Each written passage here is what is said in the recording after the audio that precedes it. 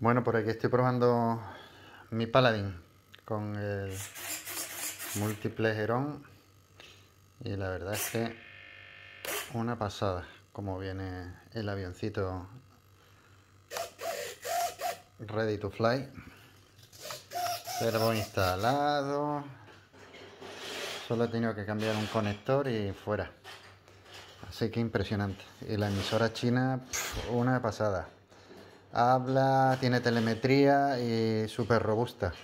Ya la calidad de construcción es impresionante.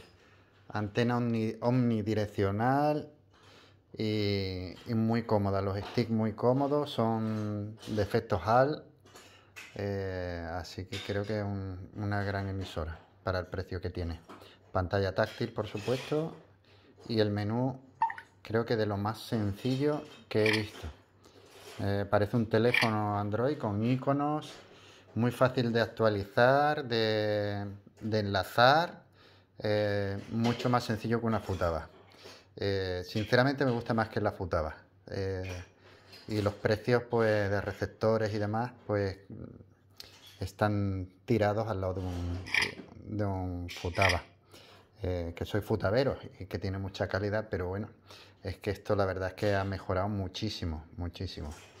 Esta emisora la verdad es que me ha encantado. Tiene una batería con una larga duración y los menús son súper intuitivos. Es lo más sencillo que hay.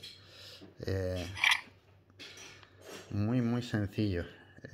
la anterior, la i10, tenía una cosa muy buena que era en que cada, en cada lugar donde te metías tenía una posibilidad de meterse en unas instrucciones, o sea, un, pequeño manual de donde te estabas metiendo y que eso lo he hecho en falta en esta emisora. Eh, no sé por qué, a lo mejor en una actualización lo recuperan o quizá por ahí habrá que proponerlo. Sensores, pues como tiene telemetría de todo tipo. Eh, no trae la emisora, no trae GPS incorporado como la última Futaba, la 32MZ, pero sí que sensores tienes de todos los colores y funcionan muy bien. Ya en la anterior, la i10, eh, los había probado y funcionan súper bien. Eh, no sé, la verdad es que mm, encantado. A ver, mm, Help Center.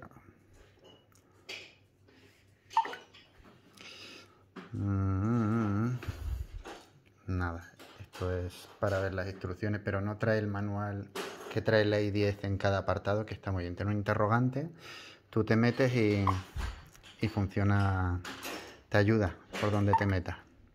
Tiene sonido, tiene vibración y tiene también habla. Eh, habla. Eh, no se puede programar lo que tú quieras hablar, pero sí que te da eh, instrucciones, pues por ejemplo si la señal se debilita porque el avión se aleja o si la batería está baja, pues vibra y te avisa. Y si pierde la señal, pues también, también avisa por ahí. Vamos a quitar la batería por aquí. Signal lost.